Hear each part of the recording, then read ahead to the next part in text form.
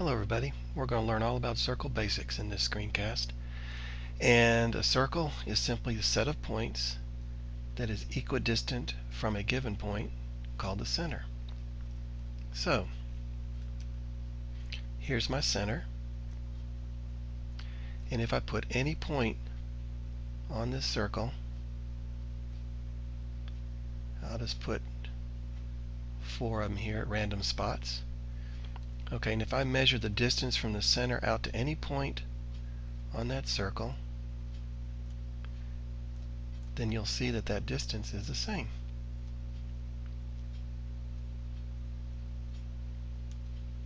I'll go from C to G. And finally from C to H.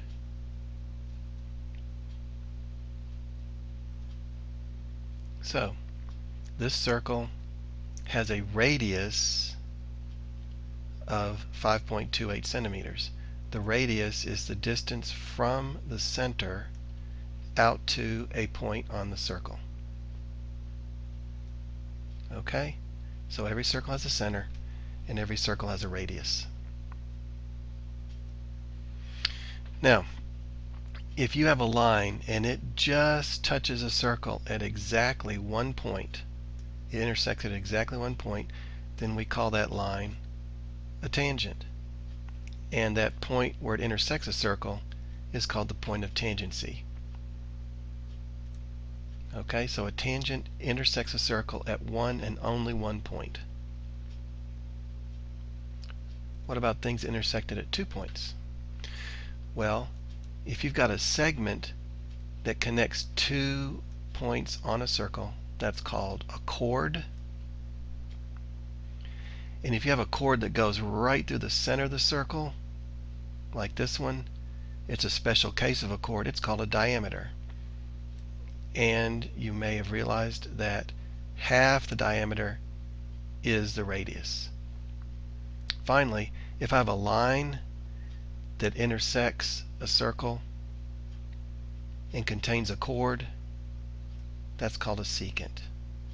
Okay, so this secant line contains the chord FG. What happens if F comes around so it's sitting right on top of G? So instead of having two points, I've got one point. Well, then we have a tangent. Okay, so a secant contains a chord, and a chord has to connect two different points on a circle. So what makes circles congruent? Well, if two circles have the same radius, they're going to be congruent. So here's one circle with this radius AB. I'm going to construct a circle with C as its center, but I'm going to use that radius. There you go.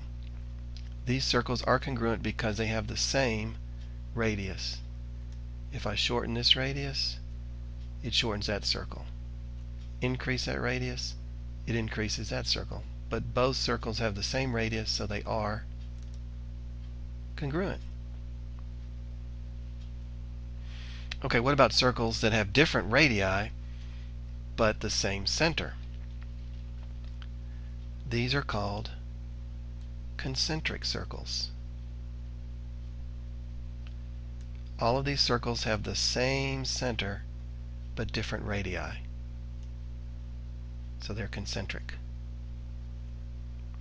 And finally, what's the difference between something that's inscribed and something that's circumscribed? Well, inscribed is inside, and circumscribed is outside. It's around. And so if I put some points on this circle and create a polygon with those points,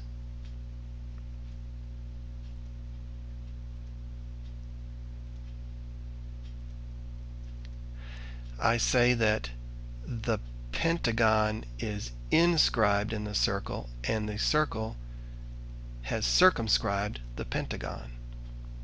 Okay? So the anything that's inside a circle is inscribed and anything that's going around and touching the vertices is circumscribed. Now a polygon and a circle can switch places. Here the square has circumscribed the circle and the circle is inscribed within the square. So make sure you understand the difference between circumscribed and inscribed.